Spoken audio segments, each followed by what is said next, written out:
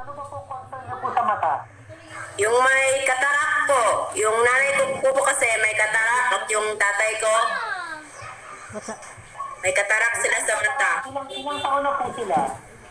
Ah, yung nanay ko 63 at yung tatay ko 64. Okay, meron ba po silang ibang sakit? Kasi may mga sakit tayo na nagpapabilis ng katarata sa mata, eh, tulad ng diabetes, may high blood, heart disease. Meron ba po silang ibang sakit po na ganon?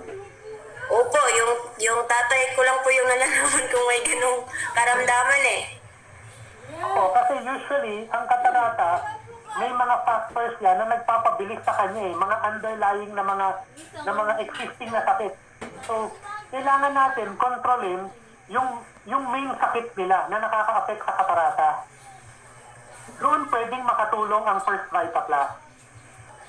No, sa pag-control ng mga kondisyon para hindi mas lalong dumagdag pa at bumilis ang katarata. Sa mga ng Diabetes First katarak. rich in vitamin A, Diabetes ang katarak. nakakatulong talaga sa eye health para mas maging healthy ang mata. Beta-carotene. Ang marirecommend ko po sa mami at daddy mo is yung melon. Ay, Melon. melon. Gold po. One Melon gold.